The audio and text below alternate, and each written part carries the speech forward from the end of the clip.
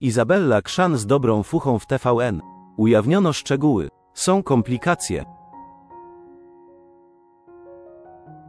Izabella Krzan po dość nieprzyjemnym rozstaniu z TVP szybko stanęła na zawodowe nogi.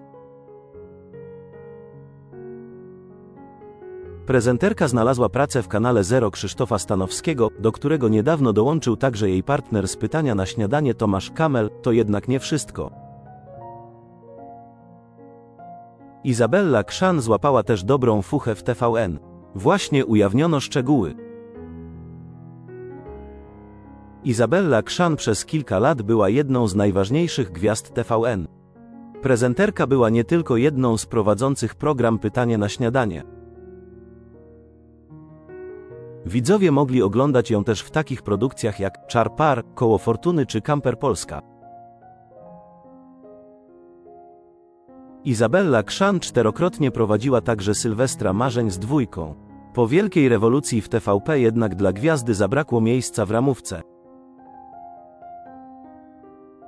Rozstanie raczej nie przebiegło w miłej atmosferze.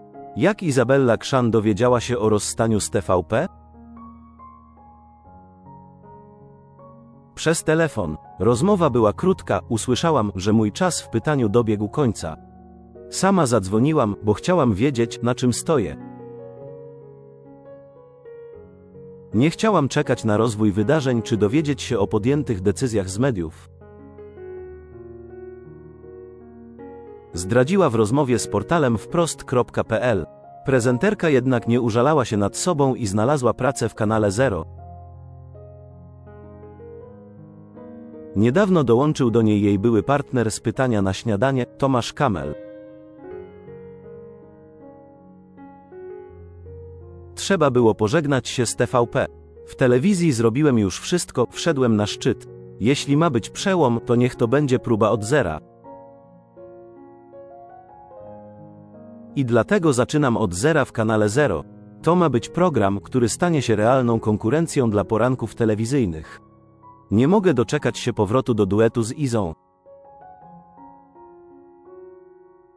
Cieszył się legendarny już prezenter. Izabella Krzan w TVN. Pojawiły się komplikacje. Izabella Krzan jedną pracą jednak się nie zadowoliła. W sierpniu wyszło na jaw, że była gwiazda TVP zasili TVN, a konkretnie TVN Style, gdzie poprowadzi wieczorne pasmo Dobry Wieczór.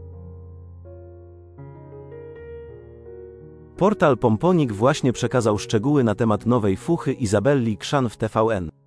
Pojawiły się pewne komplikacje. Program pierwotnie miał wystartować 30 września, jednak termin tez został przesunięty. Początkowo premiera pierwszego odcinka Dobry Wieczór zaplanowana była na 30 września. Jednak w ostatniej chwili biuro prasowe stacji poinformowało jednak, że talk show wystartuje 14 października czytamy w Pomponiku.